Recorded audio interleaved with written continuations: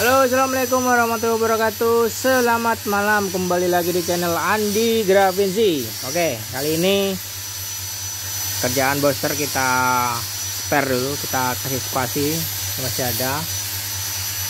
Uh, Jadi saya ada customer Yaesu FT 2500 2 unit. Alhamdulillah uh, targetnya sih dua-duanya tertolong tapi cuma satu yang tertolong yaitu rusaknya kebalik pasang terus barangnya e, kerendam air. Seperti ini bekasnya. Nah yang ini parah nih botnya.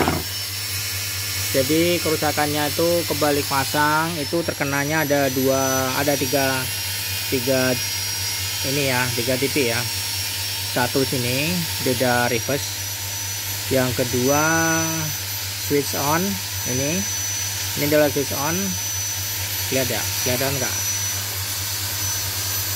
ini nah ketora nah ini ini ini ini nah jadi ini adalah MOSFET J310 jadi karena saya nggak ada MOSFETnya jadi saya ganti pakai transistor Darlington NPN dan PNP ini tag apa uh, power on fungsinya.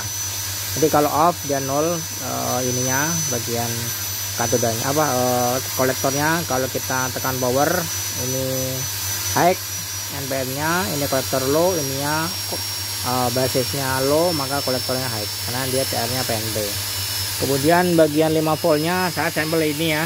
Ini ini contohnya. Jadi ini adalah regulator bagian NPN nya nih eh sorry uh, bagian 5 voltnya. Di sini terdapat IC seperti ini regulator. Jadi putus di sini adalah ground input output. Ground input output. Anda bisa menggantinya pakai 7805 dengan posisi melintang seperti ini ya misalnya kayak gini. Nah jadi yang buat di tengahnya di ground di sini di solder. Yang input sini kemudian yang output bagian sini. Ingat jangan salah pasang. Alhamdulillah bisa terkondisikan.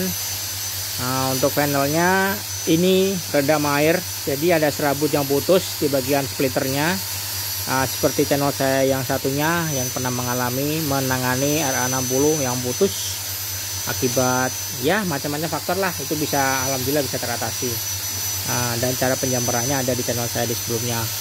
Kemudian ciri-ciri ini ini adalah rangkaian di mana kalau kita on dia keluar tegangannya kalau off dia nol.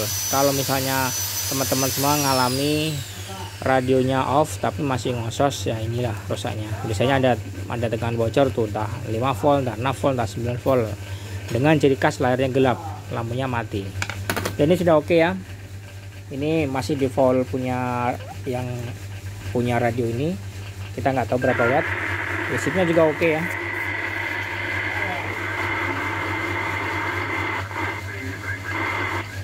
Ini listriknya kita tes powernya ya. Kita tes powernya saya pakai low 1 anjing 100 watt. Nih low 1 kecil kali nih sekitar berapa itu? Itu 20 berarti 5 wattan lah. Low 2 low 2 ini 10 volt eh 10 wattan. Kalau tiganya di sini 23 watt. Kita pakai high. High high nya 61 eh 62 sorry 62 watt. Ini masih standar ya. Belum dia papakan untuk uh, MOSFET nya finalnya juga alhamdulillah masih oke okay. oke. Okay? cukup sekian. Jadi kalau ada teman-teman yang mau nanya masalah Yesu apa penyebabnya apa kerusakannya uh, dari rusaknya sebabnya ini ini ini bisa tanya di kolom komentar. Semoga bermanfaat ya. Jangan lupa paling utama adalah mengamankan 5 volt CPU MyCom ini itu yang paling utama. Setelah itu baru kita cek di sini. Ya info cara pengecekan sudah saya sampaikan tadi. Terima kasih selamat malam. Jangan lupa like dan subscribe. Assalamualaikum warahmatullahi wabarakatuh